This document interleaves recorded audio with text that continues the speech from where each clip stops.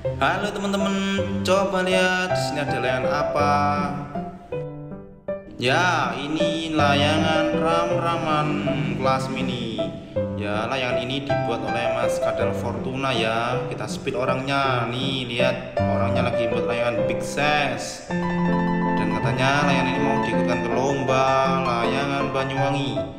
Nah, layangan mini ini dibuat dengan bambu ya ini layangan ini bisa juga bisa terbang.